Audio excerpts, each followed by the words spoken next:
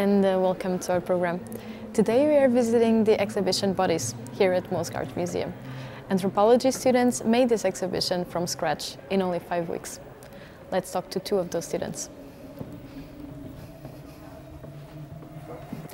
Hi Magnus. Hello. Thank you so much for having us. How are you doing? I'm good. How are you? Good. I'm good also. Excited to Great. know a little bit more about this exhibition, which is called Bodies, right? Yes, exactly. So six, what is it about? Uh, it's six six perspectives on bodies. Mm-hmm. Uh, six different ways of exploring how the body can uh, function and operate uh, within anthropology. Uh, Okay. Its framework is the anthropological um, theories and methods. And those are the ones that we use to uh, do our field work, and then also collaborate with our in- informants and uh, co-workers to create this exhibition. Okay. So this is uh, this is a students' exhibition, Yes, right? exactly. Uh, how many students were involved? I think around 70 people were involved with it, uh, all studying Okay. anthropology on the fourth semester. Okay.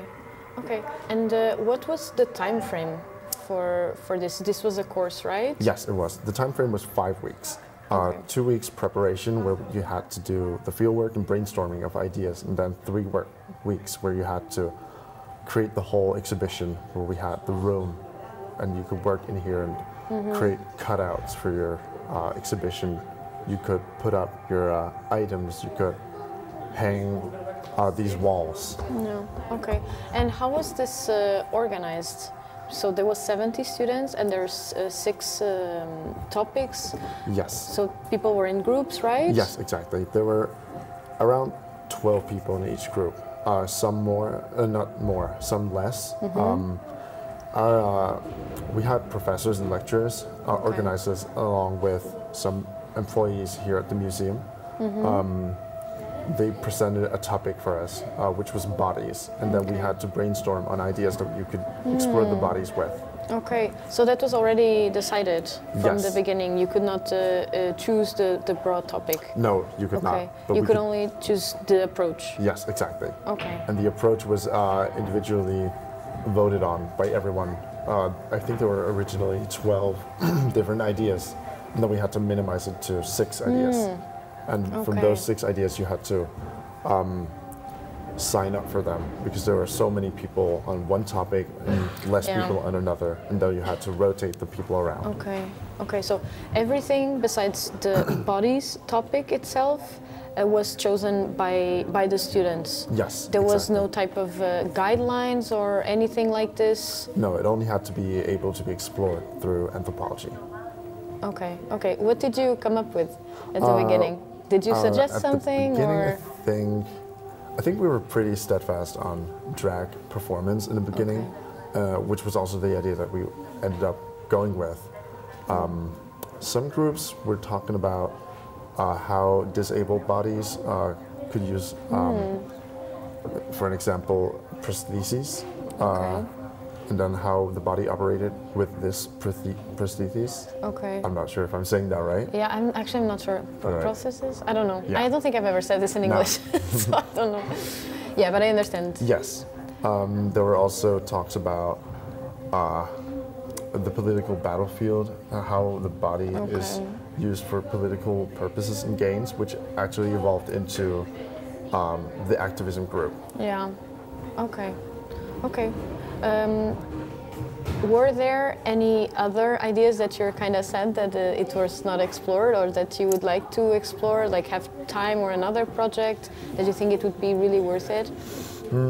Personally, I would love to explore drag more because I think it's a very broad subject, and it's also uh, the perspectives that you have in the general media around Denmark is how drag is hard and how drag is uh, stigmatizing. Where we want to focus on the positive aspects of drag, um, how the bodily um, performance enhances like, your movement, your vision, your like, the whole creative process behind drag.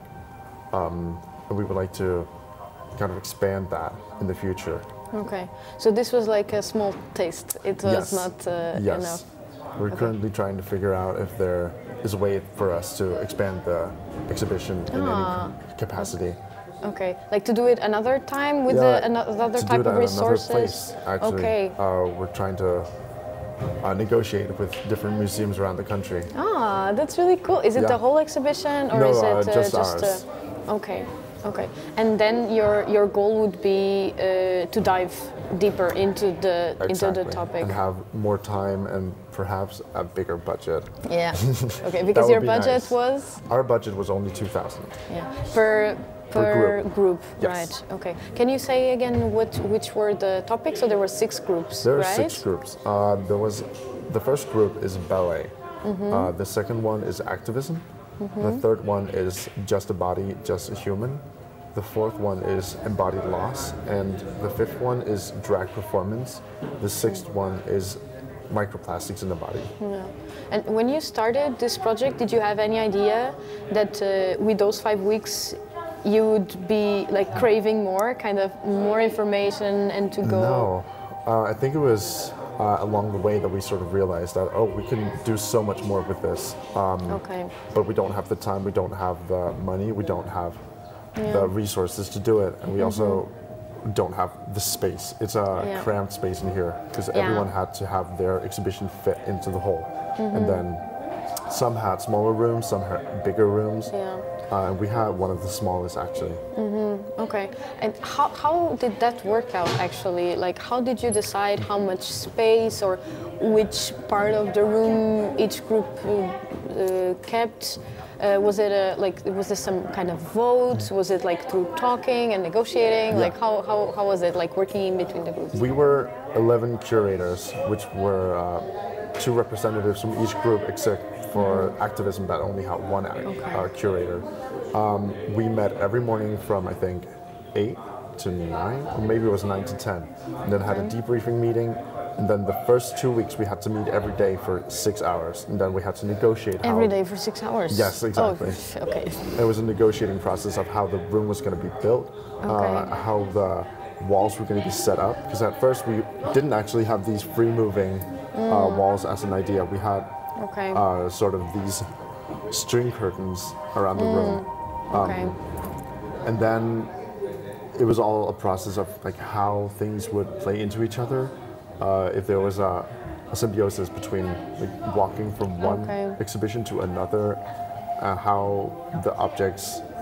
Um, like we have an, we have a table in our exhibition that has these very bright bulbs, uh, and we had to negotiate with the other group because they thought it was giving too much light into their uh, exhibition, so we had to turn it around. Okay. Yeah, so there's Okay. very much a process of talking and Yeah. negotiating with each other. Okay, yeah, that sounds extremely intense. Was Yeah. there, uh, was it just you, like the curators, or was there like a professor There was there? there was a professional um, exhibition architect we had Ah, from uh, that is quite Austria. nice. Yeah, Oh. yeah, she was uh, from Austria. Um, she, I think she did exhibitions at a children's museum in Austria. Okay. Uh, she was the main person that we had to go to with everything, like Okay. for materials and everything else that had to be bought. Uh, we had to take uh, her into consideration, and talk to her about uh, what kind of materials we were going to be using and what it could be used for. And then she would also draw, for an example, if you had to build something, she would draw these small Okay. drawings of them with uh, height and uh, width and, and depth. So you had to, you had a, a, a kind of a sketch to build your items from. Okay. So yeah, yeah, Oh, sorry. sorry. Because a lot of these items are actually made by us, Mm. um, and we're going to show you some of them uh, when we're going to go around. Okay, like for instance the. yes, these were uh, hand um, cut by the students. Okay. This is a lot of things to do in Yes. five weeks. This Yes, is crazy. exactly. Did you have any type of uh, preparation? Like, uh, um, did this person, like, I don't know, give some talks or um, like an introduction how to do things? Did you have courses before that prepared you for this, or it was just like, yeah, this is it. You have five weeks. The only preparation that we had beforehand was the methodology courses we've had throughout our education. Uh, during the course about uh, the exhibition, we had small, um, kind of a seminar about how you, Okay. for an example, use a saw to cut out these again Okay. electric Ah, so it was like the practical things Yes, already. exactly. Um, most of them, most of the um, curiosities that we had uh, had to be brought up to the curators, and then they would uh, have to take contact to our uh, exhibition architect, who would then help us uh, find how to um, do these things. how For example, how to build a table, or how to put up um, uh, like uh, Mm, this uh, hangers yes, thingies. exactly. Yeah, wow, that is quite Yeah. something. Uh, so you were you you were saying that you were a curator, right? Yes. So which inside? So there were the groups itself, like the topic groups, and then there was other roles, right? Yes, Inside that. So what were the the roles? There were four different genre groups. Uh, one was text, which were uh, the people in charge of writing the introductory texts. Uh, Mm, okay, so like for, for Yeah, for example, um, these are object texts or uh, Okay. Like a term texts. So Okay. they explain what's going on, how the objects relate to each other, and how it relates to the topic as a whole. Mm-hmm. And then uh, the text groups also did subtitles for videos.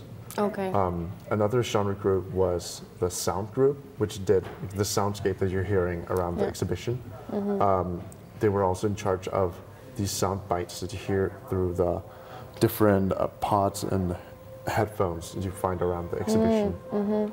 Um, another genre group was the video groups. Um, they were also in charge of the pictures, and uh, okay. they were the ones in charge of um, filming and taking pictures and Editing, editing and making sure everything fit together perfectly. Okay. And then the fourth group was the objects group. Uh, they were in charge of collecting these items, making sure every document is signed uh, for these items, making sure they get in the freezer. Um, Mm-hmm. every item had to be frozen for, I think, three days before they could enter the museum. What? Yeah, because uh, otherwise you might get pests, like um, I've never heard this in my life. like you might get a moth in, which could ruin the artifacts in the other Yeah. exhibitions. Okay, it does make sense, Yeah. but my brain never made the connection Right. before. This sounds super weird. Yeah. So everything had to be frozen. Yeah, except for uh, items that were bought from new. Uh, Okay. so like these materials did not have to be frozen, but everything that you're seeing hanging around the room, everything that you see, So weird. you know, yeah, in a glass box also had to be frozen, which Okay. kind of was a difficult challenge for some because some of their items were not able to fit in the withstand the, the, Ah, the frozen, okay, okay. Uh, the very, very, very low degrees. I think it was minus 36. Okay. I'm not sure. How, how did you pull that off? Can you do that in a freezer at home? Uh, there's a big freezer here at the Ah, museum that we had to use. And then there was another person in charge of making sure every item went into the freezer and went out in the correct time. Because Okay. uh, the whole museum uses this freezer. Yeah. That is like a very complex thing. It's like five weeks. Like I cannot Yeah. uh, wrap my head around around that. Well, okay, that sounds intense. Uh, But what was also the the goal of this of this course? Why did you have a, a course on in making a, an exhibition? Uh, the goal of the course was to make sure that we knew how to formulate um, a thesis and then present it to the public and make it more understandable. Uh, make Okay. uh, making anthropology accessible to people who aren't in the research field, who aren't necessarily university students. Uh, making sure that anthropology gets across to the public common knowledge, so that it is more Mm-hmm. Okay. accessible for people who are not in the academic field. Okay. Um, And then the main goal of the perspective bodies was to make sure that anthropology can communicate how we work with bodies um, to everyone and make sure that people know that anthropology is not just about studying primitive uh, cultures or other cultures that are around the world. Uh, we don't really use the word primitive. I, that was a mistake on my part. okay. Okay. yeah. No, no, no problem. Okay. Yeah, that is that is quite nice. Yeah. Um, is there anything you would like to add about this um, this first view, kind of, of, uh, of the exhibition and, and the process um, itself? What was your biggest challenge, actually? Um, I think our biggest challenge was communicating with the group uh, as a whole, because we are 70 people who all have wishes and needs, Yeah. and then it's a process of negotiating with everyone, making sure everyone has at least some of their needs and hopes met, um, which was very difficult at times because Yeah. Some people wanted bigger rooms, some people wanted um, a light dimmed in one place, and then you couldn't see what was on the other side of the wall because the light has been dimmed. Okay. Um, so definitely working together as a whole group, uh, trying to formulate how uh, how we're gonna envision this whole exhibition. Together, yeah. Yes. It, it's like the first time for everyone to Yeah. do it, so double challenge Yes, there. exactly. But yeah, okay. Um, shall we start going Sure. around yeah. then? All right. Okay. So we're in this activism group. We're part. in the activism group right now. Yeah. Uh, they did field work uh, around the country, uh, primarily in Copenhagen with Extinction Rebellion. Ah, okay. So you could actually go really broad if you if you wanted. Yes, uh, we also went to Copenhagen in our group. Uh, this group went to Copenhagen to do uh, field work with an action, uh, which is like um, it consists Like- of a few people uh, who are doing like uh, a protest of Yeah. sorts. Like you can maybe you've seen people standing on an ice cube with a noose around their neck, and then it's a Okay. it's um it's a critique of the complacency from politicians doing Okay. nothing about climate change, and then when, as the ice melts, they're gonna get hanged. Okay. Um, that is quite extreme. yeah, that is an action. Those are the things that they've explored. Okay. Um, they've also in Copenhagen. yeah. Uh, I mean, yeah, not yeah, for only, an example, but uh, yeah, yeah. mhm. they didn't necessarily do that one, Okay. but they've um, done fieldwork about this, which is called a lock-on. So this is where you sit down, put your arm in, and then you lock uh, arms with this one. Are you touching? Yeah, Each and- other? Yeah, Okay. and then you're locked in, and then you can Oh, then. you can make a, a blockade in front of like a door. Okay. And the way they've made this um, interactive is when you put your arm in here, Right here. All right. Or. Okay, I'm Oh. not sure. Yeah. when you put your arm in, it activates the sound in this one, which is talking about what this is, uh, which is a lock on. Okay. And this also, like covering this uh, events, also led to that image, Yes. tho- those those videos, right? Or was Yes. it from archives or? Uh, some of them are from archives. Uh, a lot of them are, uh, I think, they're interviews they did with their informants. okay. Um, okay. Yeah, in the corner you can see when it's archival Ah, material. okay, okay, okay. And this was in in several parts, right? This is like uh, the overall um, vision of the group on, on this, the the video part at least. Yeah, yeah. Um, about how you use your body to stand in solidarity with each other, um, how you activate a special feeling, which is actually called communitas. Communities. Yeah, it is an anthropological term. um, okay. There's a description of, over here. It says, if you ever have tried standing at a concert or football match, then you may know the feeling of many bodies becoming one. The people standing next to you may be different in appearance, occupation, or age, but all this dissolves in large crowds with a com- common attitude. It is a special connection of equality and community, and sometimes a sense of power. It is a, it is a term that we use a lot in anthropology, Aw. which is a nice way of describing that feeling, you know. Yeah, I had mm. felt this before, but I didn't know there was. I mean, makes sense that there's Yeah. a name for this, right? Um, but yeah, I, I, I never heard the, the term either, the Yeah. concept. Yeah, this is quite nice. Yeah, it is. It's a. It's another way of describing like collective effervescence, mm-hmm. which is also a term in religion, where it's like when you have a mass, uh, you feel this sense of community, Yeah. which is also like one of the main things that you study with anthropology. Okay, okay, quite interesting. And then they had this uh, this different people represented. Sorry. Did they have this different like people represented, bodies represented? Yes, exactly. Uh, do you happen to know uh, something about like why was Uh, so there this tea is here? uh, when you go on uh, a hunger strike. Then you Ah, have okay. to uh, take electrolytes and also have some herbal tea in order for you to not uh, completely dehydrate or go like insane because you're hungry. Okay. Okay. So you have to take some electrolytes. Mm-hmm. Um, a hunger strike is when you uh, protest, uh, usually in front of an important uh, building Mm-hmm. uh, where you have a message and you won't go away before they've listened to your message and you won't eat until they've listened to your message. So you kind of put them in a spot where they're responsible for your death if you don't eat. It is a very extreme form yeah, of so activism. extreme. Damn.